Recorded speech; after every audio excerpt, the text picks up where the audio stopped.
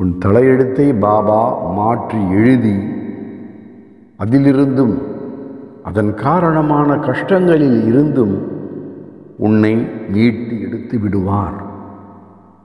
ஆகவே சாய் பாபாவின் மேல் என்றுமே நாம் சந்தேகப்படக்கூடாது.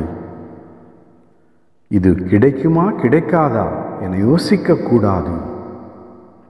சாய் பாபாவின் ஆசீர்வாதத்தால் இது நிச்சயம் நமக்கு கிடைக்கும் என நம்ப வேண்டும்.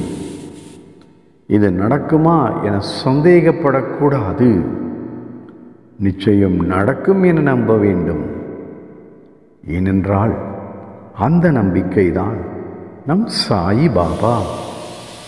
அந்த நம்பிக்கையோடு நாம் சாயி பாபாவின் மேல் உள்ள பக்தியும் மேலோங்கினால் நாம் வேண்டுவதெல்லாம் நமக்கு கிடைக்கும்.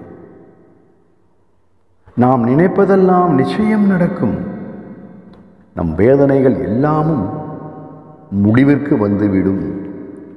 மொத்தத்தில் பூரண திருப்தியோடு சந்தோஷமான வாழ்க்கை நமக்கு கிடைக்கும். நாம் நம் குடும்பத்தாரோடு நோய் நொடியில்லாமல் ஆரோக்கியமாக சீரும் சிறப்போடும் பேரும் புகழோடும் வாழ முடியும். எனவே சந்தேகம் வேண்டாம். சாய் பாபா எப்போதும் நம்முடன் தான் இருக்கிறார். நல்லதும் கெட்டதும் அவரே. எனவே உன் கைவிடித்த பாபா எப்போதும் உன்னை காப்பாற்றுவார். வரும் காலத்தில் உயர்த்தி உன்னை வாழ வைப்பார் இது உறுதி. சாய் பாபா இருக்க. பயம் எதற்கு? கவலை எதற்கு?